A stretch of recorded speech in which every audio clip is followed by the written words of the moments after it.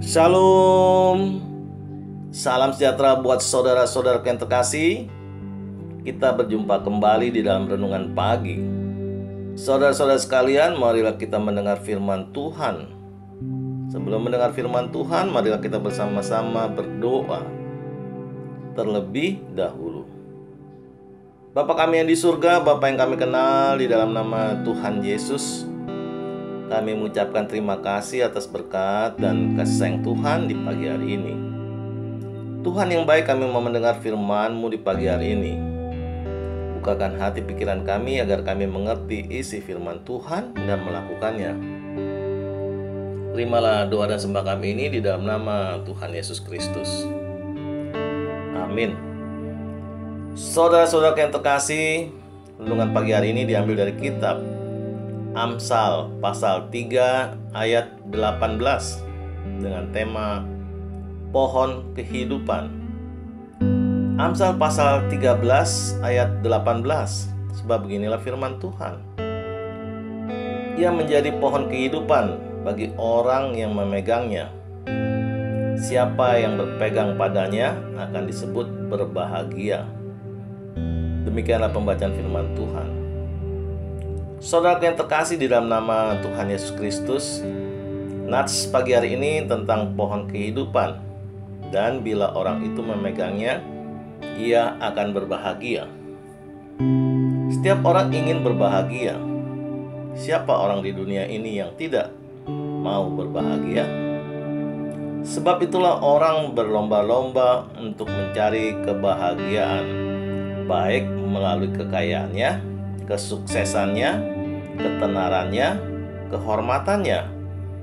Tetapi semuanya tidak bisa menjamin kebahagiaan di dalam kehidupan seseorang atau kemungkinan hanya merupakan kebahagiaan sesaat. Nats firman Tuhan pagi hari ini mengatakan, siapa yang memegang pohon kehidupan itu, ia akan berbahagia. Siapa pohon kehidupan itu? Di kejadian pasal 2 ada pohon kehidupan di Taman Eden. Di ayat 9 tertulis di situ. Lalu Tuhan Allah menumbuhkan berbagai-bagai pohon dari bumi yang menarik dan yang baik untuk dimakan buahnya. Dan pohon kehidupan di tengah-tengah taman itu serta pohon pengetahuan tentang yang baik dan yang jahat. Jadi pohon kehidupan adalah lambang untuk menjamin bahwa Tuhan akan memberikan kehidupan abadi kepada orang yang diizinkan makan buahnya. Tertulis di Wahyu pasal 2 ayat 7. Siapa bertelinga hendaklah ia mendengarkan apa yang dikatakan roh kepada jemaat-jemaat. Barang siapa menang, dia akan kuberi makan dari pohon kehidupan yang ada di taman Firdaus Allah. Jadi saudaraku, ada pohon kehidupan di tengah-tengah taman Firdaus Allah. Dan ia berada di tengah jalan atau pada posisi yang penting di kota Yerusalem baru. Saudaraku, manusia jatuh di dalam dosa. Tetapi umat Tuhan diberikan keselamatan untuk hidup yang kekal. Sebab itu kita berbahagia. Saudaraku, Tuhan kita Yesus Kristus adalah sumber keselamatan itu atau sumber kehidupan itu dan ia mempunyai kuasa untuk memberikan makanan kepada umat percaya dari pohon kehidupan. Saudaraku, apakah Anda menemukan pohon kehidupan yang akan membuat Anda berbahagia? Bila Anda telah bertemu, hidup dan kebahagiaan ada di depan Anda. Tetapi Anda harus memegang dan memeluknya.